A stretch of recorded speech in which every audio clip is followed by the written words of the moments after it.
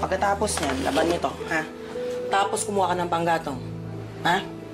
Achang, um, pwede po ba ako magpaalam? Ah, gusto ko po kasing umuwi ng Maynila eh.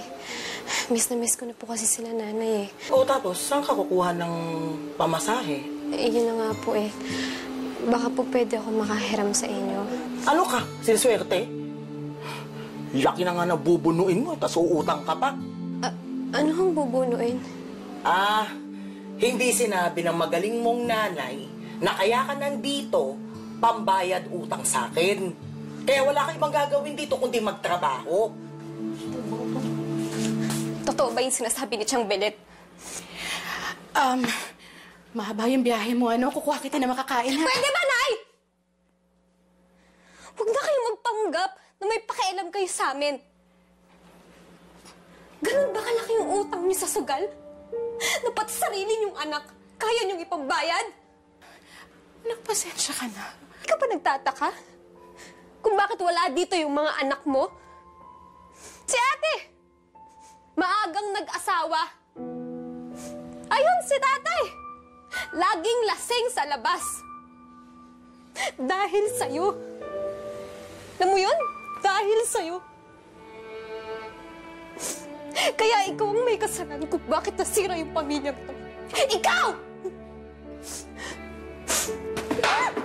Wala akong ibang nasa isip noon, kundi ang makatakas din sa aming pamilya.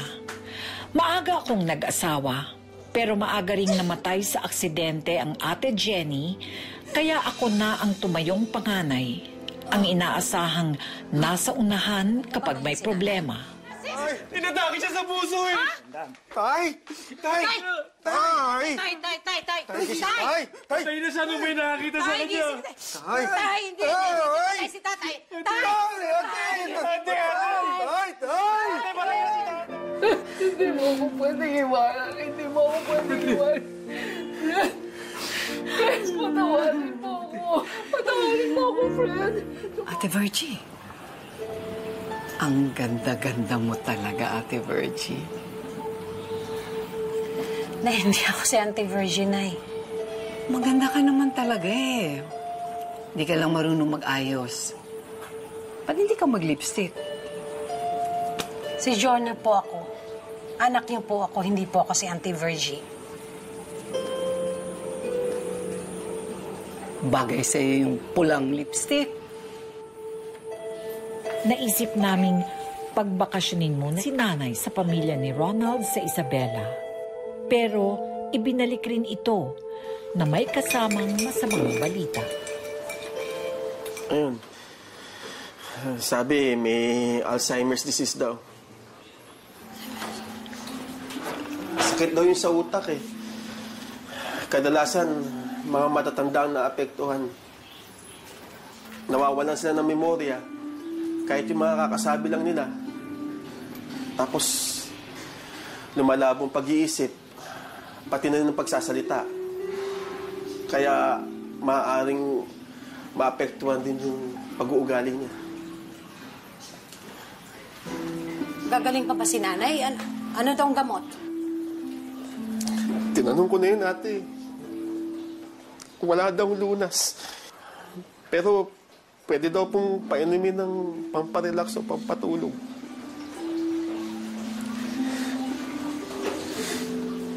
Kawawa naman ang nanay. Kailangan natin matutukan ng nanay.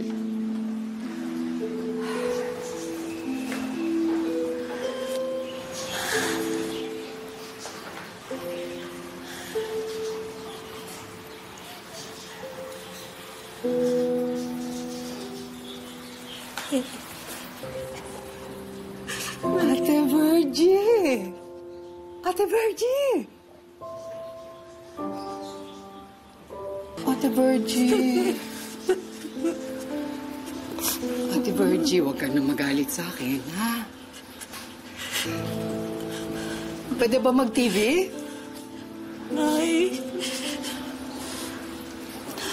bakit hindi mo na ako nakikilala? Pero yung mga kapatid ko, Nay, kilala mo pa rin sila. TV? TV! Sige, Nay. Sige, Nay. Sige, Nay. TV, Nay. TV! TV! Opo. Opo, opo, opo, Nay. TV, Nay. Opo. Opo, opo, opo. Opo, Nay. TV po, Nay. Sige po. Ayan, po, Nay. Oo. Ayan. Ayan, ito, ito, Nay. Ay,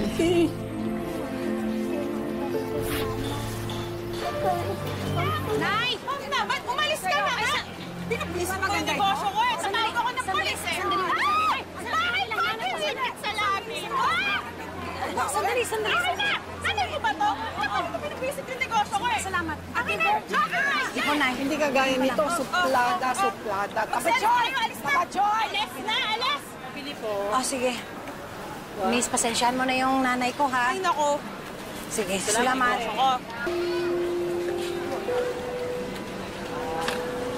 Yung nanay ko, nakita mo?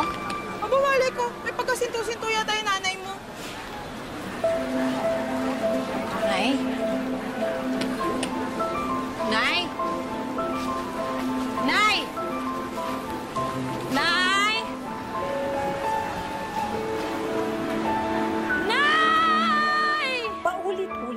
Nawala ang nanay.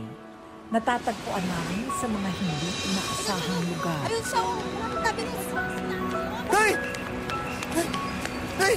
Ano nangyari sa inyo, Nay? Nay! Nay! Nay. Ay, sige na, huwag na makulit. May perwisyo kami lahat eh. Sa susunod kasi, ate, huwag mo na lang basta hayaan makalabas ang nanay. Kaya ulit nga sinabi mo?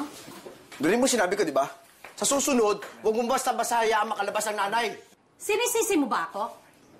Bakit? Meron bang gustong mangyari to kay nanay? Anong gusto mo? Buong araw ko tututukan ang pag-aalaga sa nanay natin? Ano, ano? Anong gagawin ko? Ha? Hindi ako itatrabaho? Paano ang pamilya ko? Paano kami kakain? Bubuhayin mo ba kami? O di sige! Ako mag-aalaga sa nanay! Para ano? Para sumbatan mo na wala akong ginagawa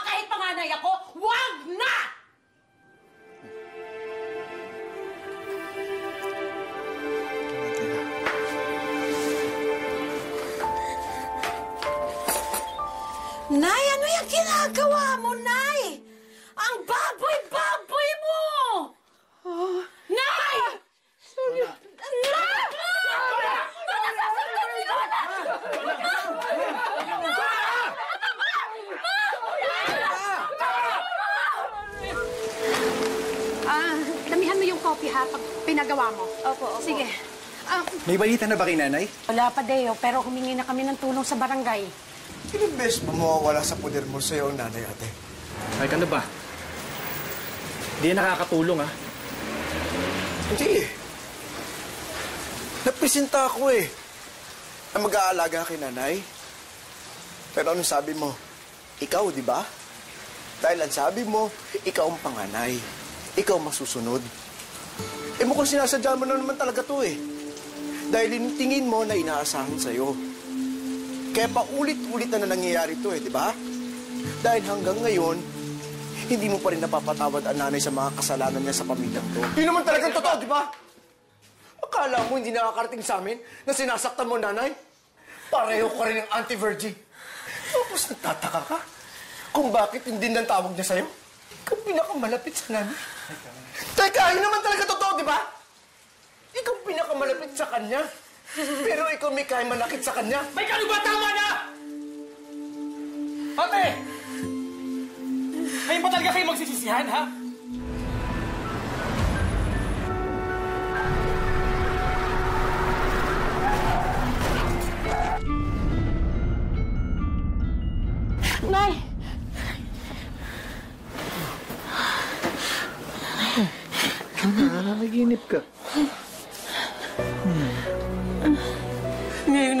Nanay natin, tsaka ko, tsaka ko naisip kung gaano ko siya kamahal.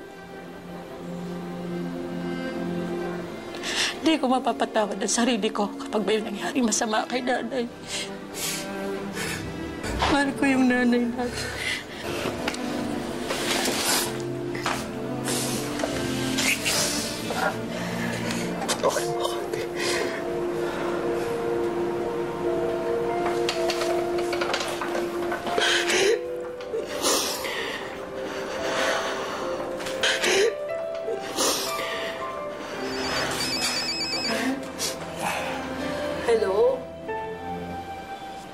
Jonah, ang nanay mo.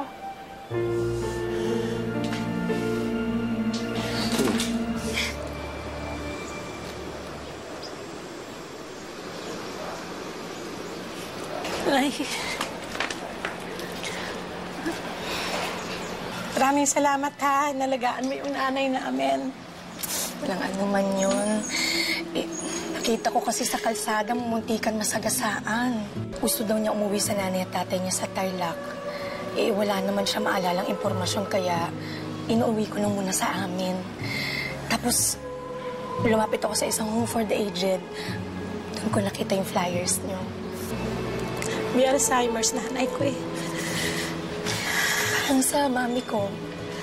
Pero ang mami ko wala na. Napakaswerte niyo. Kasama niyo pa siya.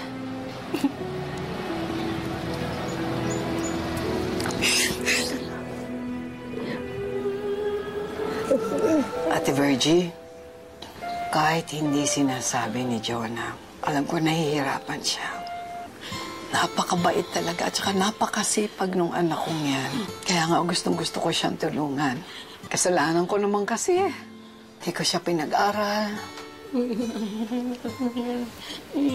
Sinaktan ko pa siya. Kulang na kulang ako sa kanya bilang isang ina. Sana bago ako mamatay. Sana makabawi ako sa kanya. Sana... Sana mapatawad niya ako.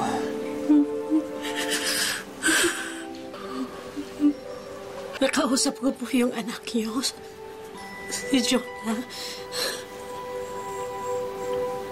Pinapasabi po niya na matagal na niyo po, kayo napatawad. At mahal na mahal niya po kayo. Mahal na mahal na mahal niya po kayo. Talaga, nakausap mo si Jonah?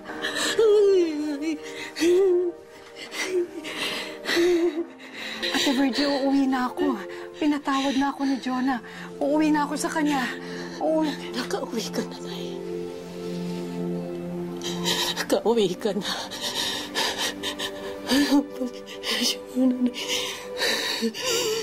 Anak ko. Kilala mo ako, Nay. Nakilala mo ako, Nay. Wala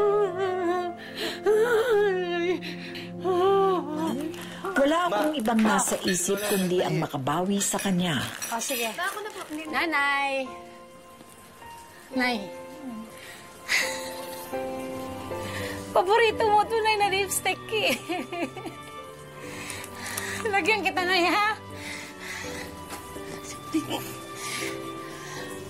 Ah... Okay, ganun mo, Nay.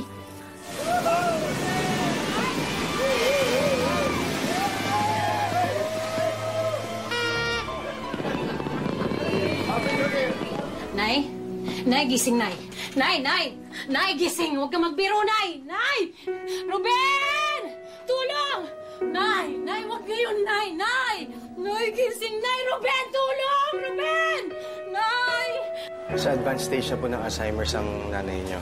Nakakalimutan na niya magsalita, maglakad, lumuya at lumunok ng pagkain. Kailangan na natin siya i-confine para mas maobserbahan. Kasi bukod sa Alzheimer's niya, meron na rin siyang pneumonia. Pero pagkalipas ng dalawang linggo, idineklarang brain dead ang nanay.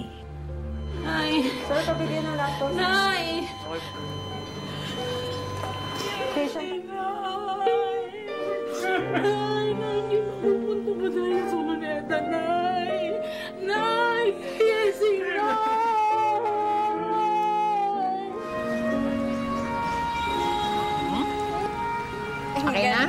Kamukha mo na si Lola. Araw-araw, dala-dala ko ang regalo ni nanay sa amin. At yun ay ang regalo ng pagmamahal. Magkaiba man kami ng pamamaraan, ipinangako ko sa sarili kong ipapadama ko yun sa aking mga kapatid, sa aking asawa, at sa aking mga anak. Hanggang dito na lang, Jonah.